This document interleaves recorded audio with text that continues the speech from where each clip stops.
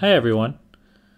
In this lesson we're going to be talking about the holding entry everyone dreads, the parallel entry. Now nobody likes to be faced with a parallel entry, and I can't figure out why, because it's really not that hard. In fact, I would say it's almost easier than a teardrop entry. So let's check it out and see how we can make these things easy.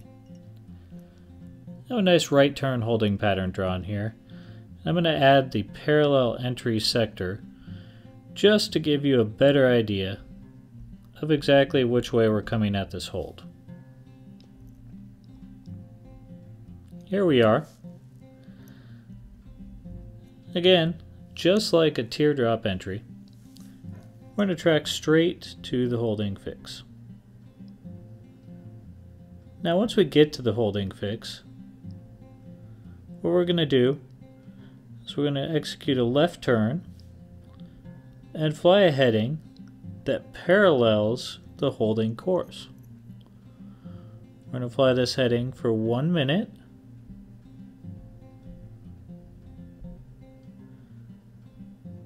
And then make another left turn, standard rate, back to intercept our holding course.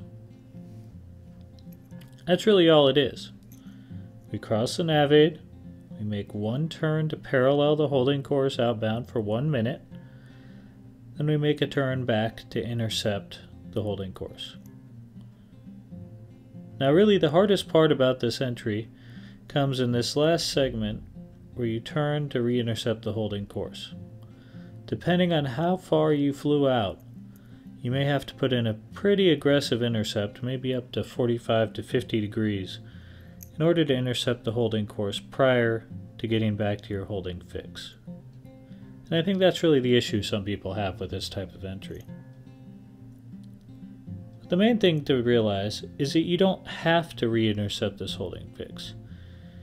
If you come out and you're unable to re-intercept your holding radial, let's say you end up right about here. What do you do? Well, all you need to do is turn to a heading that parallels the inbound radial, so when you come close to crossing the fix, you could just simply start a right standard rate turn back to the outbound heading and come right around the pattern. So again, to reiterate, all we need to do is track to our holding fix. Make a turn to parallel the holding course outbound, fly that for one minute, then make one more left turn back in to intercept our holding course.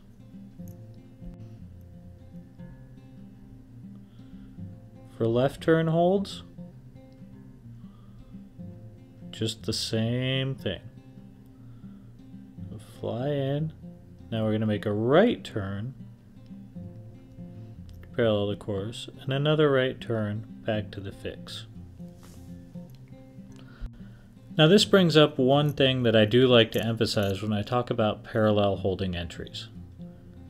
And that is the sequence of turns to get into the hold. Here's our right turn hold again. Now as we came in on this right turn hold, we made one left turn and another left turn. So, right turn hold equals two left turns.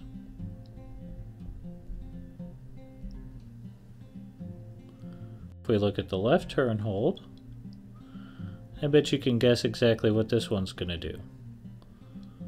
I'm going to fly in, intercept, make a right turn, and another right turn. So left turn holding equals two right turns in entry. I know that sounds a little bit confusing at first, but if it's something you just tell yourself as you're coming at the hold, it really makes it pretty easy. Just tell yourself, I'm going to cross the fix, I turn right, I fly out a minute, I turn right. That's all you got to do to enter a left turn hold parallel. Okay, now let's talk about the wind. Okay, so we're coming right back at our fix. We make our left turn. Now, we have a wind that's pushing us into the hold. So we end up actually inside of the holding pattern. So this time, if we execute another left turn, we have really very little chance of re-intercepting our inbound radial. So, here we are. We've now gotten pushed into the holding pattern. Now, as we've talked about before, if we make another left turn, it's very difficult to re-intercept the holding radial. However, if we were to turn into the wind, the wind will actually help us out and push us closer to the course that we want to fly.